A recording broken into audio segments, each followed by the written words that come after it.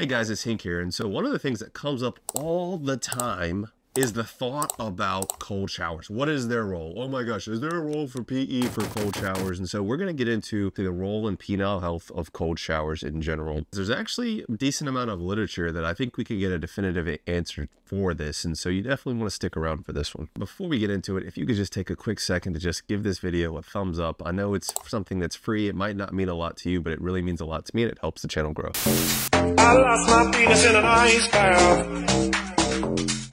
15 minutes I no shaft. All right, guys, so the first paper we're going to talk about is actually the correlation between colder weather, and I know we're talking about cold showers here, but colder weather and erectile dysfunction. And believe it or not, there's actually a decent amount of published data. Now, it's not the best published data because like this paper here is based on the increased number of Google searches for erectile dysfunction in the wintertime, but there's a very strong correlation between colder winter weather and erectile dysfunction. You know I love my rat studies, and so this next study we're going to look at here looked at actually keeping these rats exposed for prolonged periods of time during the day to either 22 degrees Celsius, which is about 72 degrees Fahrenheit, versus 4 degrees Celsius, or about 39 degrees Fahrenheit for about eight hours per day. And they looked at actually the outcomes of the rats as far as like their erectile performance. And what they found, and so I'll read this to you, is we observed decreased erection frequency, meaning there was less frequent erections, okay? Prolonged erection latency, meaning it took longer to actually get a good erection. Decreased intracavernosal pressure, meaning there was less pressure in the penis, so poor erection quality. Then there were some other expressions that increased indications of decreased smooth muscle, so de decrease of healthy tissue, and increased rates of actual dysfunction or signs that actually fibrosis was beginning to occur. So what they concluded, and I quote, meaning that cold stress is indeed correlated with erectile dysfunction. So already the literature is pointing to maybe we don't want cold showers if we're going to be doing especially things like PE with pumping, clamping, tugging, pulling, extending, etc. It might not be the best idea to pursue a cold shower afterwards. A key thing with this rat study is that they said that this literature doesn't necessarily translate because they low-key kind of tortured these rats, keeping them at 4 degrees Celsius without like little rat gloves and coats for like 8 hours a day, guys. And most people aren't going to be just exposed to 4 degrees Celsius for prolonged periods of time. You're going to be inside, you're going to have a jacket. However, they do say people that work in the Arctic or have prolonged outside exposure during these cold temperatures are more predisposed to erectile dysfunction with cold temperatures. Here's another paper here. Now, what this looked at actually was the negative effects of cold water immersion. And so this specifically is talking about sperm quality and actually decreased testosterone.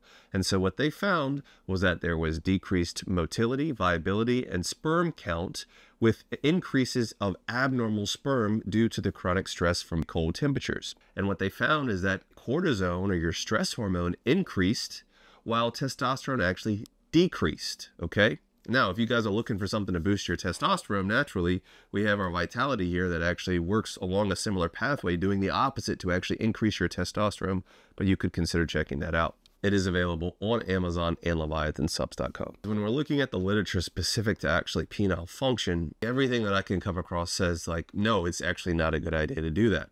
However, there are specific caveats that we're going to discuss in just a little bit. And so here's some of the additional points with cold plunges that I think need to be evaluated further. So number one, does it increase testosterone? So I just told you a paper that said actually no, it doesn't. And so here's another paper here. No, it does not increase testosterone levels. So if you go to some TikToker and he's like, oh, look at me, I'm on TikTok. Here's this one simple trick.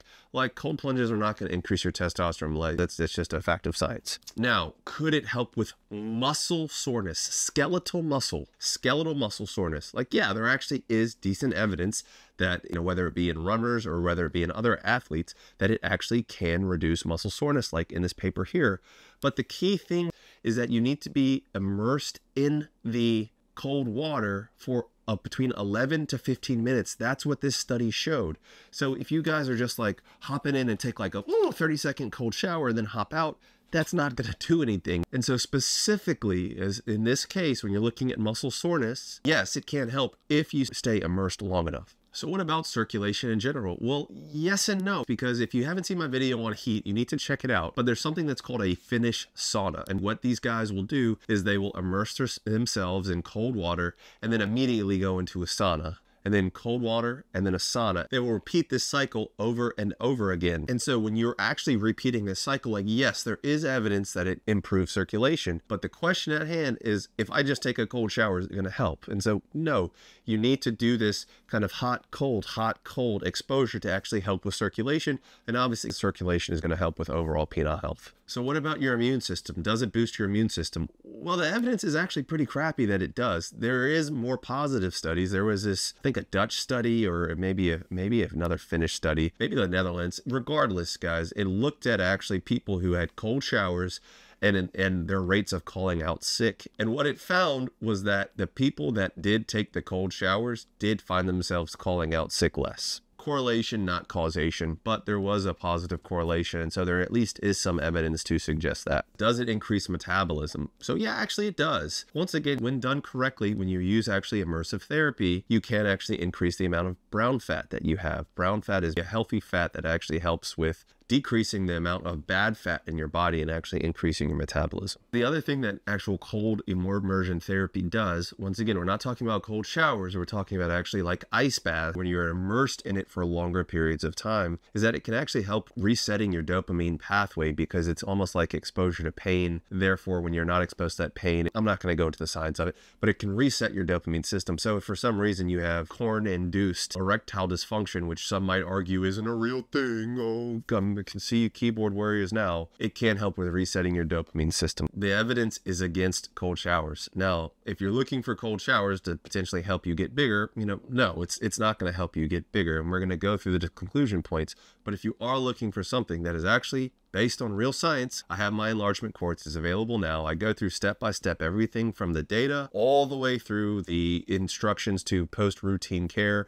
It's all available now. Link is in the description if you're interested. I recently posted on my subreddit r slash Hink a guy who gained a half an inch in six months, guys. This this course is the real deal. You're gonna have to work for it, but only about 30 to 45 minutes a day. So, do cold showers help with PE? Not at all. Here's a few reasons off the top of my head. One, it causes a sympathetic nervous response. So, that will cause all the blood that should be in your penis, particularly after a session of pumping or stretching, to flow into your limbs, pulling away any of the nutrients from your penis into your arms. Then, with that, there's that tissue contraction. And there's actually evidence to show that you want to be retaining that new shape as much as possible with soft tissues. So, if we are focused on building up our penis, the last thing we really wanted to do is shrivel up. Granted, we need to know how cold cold actually is. You could be doing ice plunges, you could be doing just lukewarm, like room temperature showers that's going to have two separate responses. But ideally, you want to be taking warm showers before or after PE just to make sure you do not have any tissue contraction. Any of the hormonal benefits from cold showers really aren't that great, especially compared to just diet and exercise. So, yeah. Check out my channel, BD Peak Memphis. What are my final takeaways? Number one, if you're going to take an ice bath, make sure it's between 11 to 15 minutes. A cold shower is not going to cut it, okay? And so, you know, you need to be careful actually because if you're exposed to actual an ice bath, that actually shock can be bad for your heart and it can cause some arrhythmias and sometimes even heart attacks. So if you're going to do that, be very careful. But if you're going to go with cold water immersion, you need to do it for a prolonged period of time if you're trying to get some of these benefits. More importantly, does it help with PE? I absolutely think it does nothing. Okay. That's my personal take. Now, if you have crazy amounts of edema after like doing something like a pump, like, yes, maybe a cold wrap, not necessarily getting your whole body in a cold shower, but a cold wrap could potentially help to reduce that edema. So, cold plunges can have some benefits, but in general, I just don't think it's particularly helpful for PE. But that's my take. Let me know what you guys think below. If you have had experience with cold showers and you find it helpful, or you agree with me and you think that it's pretty silly, but you know, I guess a reasonable question to ask. Thanks for watching this far, guys. I really appreciate you. If you haven't, please take a second to like the video. It really means a lot. If you haven't subscribed, please consider subscribing if you like the content that I make. Remember, there's nothing wrong with self-improvement, but you are enough just as you are. Catch you on the next one, guys. Peace and love. And guys, if you made it this far, appreciate you still watching. Obviously, our supplements are available. Vigor's back in stock, our number one seller. Boost erection quality. It's getting amazing review. It also is amazing for workout, guys. You should really consider it. We also have our Safeguard, which prevents fibrosis, helps keep your penile tissue healthy. We have our Shield, which helps with nerve regeneration, help with nerve pain, and help keep your nerves healthy during PE. And of course, we have our Fortitude, the horny goat weed based supplement that helps with overall penile function, erection quality, libido, and actually literally is a natural PDE5 inhibitor like Viagra. If you guys are have hard flaccid, my hard flaccid course is available. We already talked about my enlargement course. All these links are in the description. If you need equipment for PE, peakmalephysique.com is going to be your best bet to get the best prices on all the high quality equipment you might need. If you need to reach me, my Patreon is patreon.com slash dochink. You can join me on my subreddit r slash hink if you want to be part of these conversations for where some of these videos come from. And of course, Kalee, our amazing editor, does great work. If you want to support him, link is in the description and he'll put a QR code on the screen where you can, for the cost of buying him a coffee, support him and you'll get 26K wallpapers for you to use on your phone or computer or wherever you like. Anyways, guys, catch you on the next one. Peace and love.